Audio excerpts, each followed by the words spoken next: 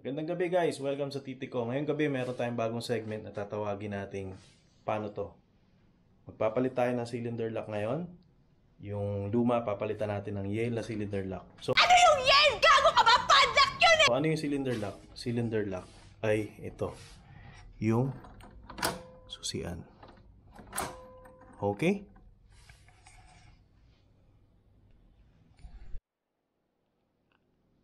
Bakit natin kailangan palitan yung susian? Number one, kung ikaw ay paranoid na baka merong may ibang kopya ng susi mo, ikaw na lang magpalit ng cylinder lock mo. Tiwala ka pa dahil ikaw lang ang gumawa. Ikaw lang may hawak ng kopya ng susi. Pangalawa, baka luma na, prone to failure. In case of emergency, mabali yung susi mo, mastak sa loob. Dagdag problema yan. Number 3, hindi mo sure kung meron pang merong may ibang kopya ng susi mo. Lalo na kung madalas pinaparentahan yung kwartong hawak mo. Lock ay itong pasukan. Yan, nakita niyo yan? Yung pasukan ng susi. Papalitan natin itong part na to. Yan. Siyempre, anong mga gamit na gagamitin natin pag ginawa natin yan? Kailangan natin ng screwdriver. At syempre, yung ipapalit nating cylinder lock na may kasamang susi. Okay? Ngayon, kailangan nyo ng tape measure din. Pero para saan yung tape measure? Yung tape measure, magagamit natin yun para malaman natin kung gaano kakapal yung bibilin yung cylinder lock. Yan. Bali, ang susukatin nyo dyan is itong kapal na to. Yan. Pero dito, dahil ang gagawin natin ay papakita ko lang kung paano palitan. Hindi ito yung sukat dito eh. Mahaba to actually. Pero yan, papakita ko sa inyo kung paano. Okay, simulan na natin. Ngayon, ang makikita nyo dyan, pag magpapalit kayo, ay ganito. Ayan. Tapat natin. Okay? Okay guys, simulan na natin. So, anong first step? First step, bubuksan mo yung pinto. Punta ka sa side ng pinto. Ayan. Tapos, may tamo tong screw na to. Tatanggalin natin yan. I-unscrew natin yan. Pero guys, para magtuloy-tuloy itong mga ganitong ginagawa natin, pa-subscribe naman dyan. Tapos hit nyo na rin yung notification icon para aware kayo pag may bago akong video. So ayan, na-unscrew na natin. Para nakita nyo. Okay? Actually, hindi naman siya komplikado eh. Ayan.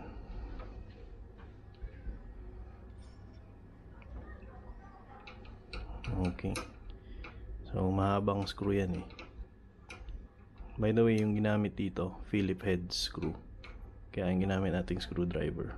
Phillips screwdriver. So, ayan. Pag ni-roll yan, pwede na siya kamayin. Okay? Tignan nyo ganyan siya kahaba. So, anong gagawin natin? Since matagal na tong cylinder lock na nakabit dito, tapikin mo ng konti at ayun, para mag-loosen siya. Tapos ayan, mahugot mo na siya. Yan. Kita nyo ba?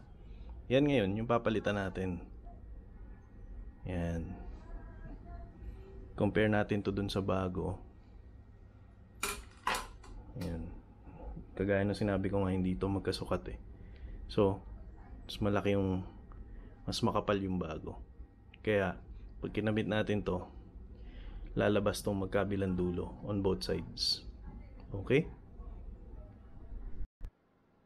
Ayan mga kaibigan, so nahugot na natin yung ano, yung lumang cylinder lock. Pakita ko sa inyo yung itsura niya. So ayan, tagos lang yan. Ngayon, papasok na natin yung bago. Yung ating bagong bili, pamalit. Pero, hindi naman yan basta-basta papasok.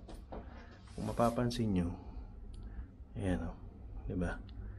Meron siyang Ayan, meron siyang nasa gitna itong gray part na to. Tapos, pag pinasok mo yan kasi kailangan hindi yan nakaharang.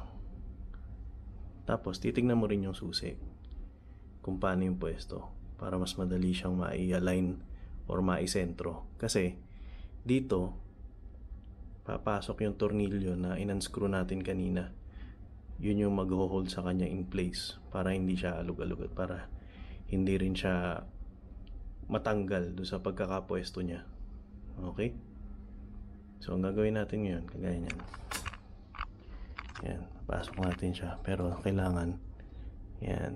So, yan yung pwesto niya ngayon. So, pagpasok mo siyang ganyan, di ba? So, ayan, pumasok na. Check mo siya ngayon kung nakagitna siya. Yan. Since mas mahaba to, dito ngayon papasok yung papel ng susi. So, ayan. Kung mapapansin nyo, pag pinihit ko yung susi, kumakagat na yung isang lock sa taas. So, pipihitin natin siya ngayon para palakin natin tong mismong pang lock na permanent lock dito sa cylinder head. Ayan na, napihit na. So, pag ganyan, hindi na siya gagalaw. Pwede na nating balik yung tornilyo. Ito yun. Pero, kung ikaw ay bumili ka ng bagong set na ganito, may kasama rin siyang tornilyo pero mas magandang gamitin yung luma kasi sukat na to dun sa haba para mas madali na. Hindi ka na magga-grinder ng dulo. I-screw mo na lang siya ulit. So, ayan. Ayan. Okay? At kailangan siguraduhin mo rin nakadiretso yung pasok niyan. Ayan. Okay? So, itatighten lang yan. Siyempre, pag nag screw tayo, pagka clockwise yan, yun yung pahigpit. Counterclockwise, yung paluwag. Sabi nga is, lefty loosey, righty tighty. Okay? So, yan. Okay na? Mahigpit na? Hindi na siya naalog?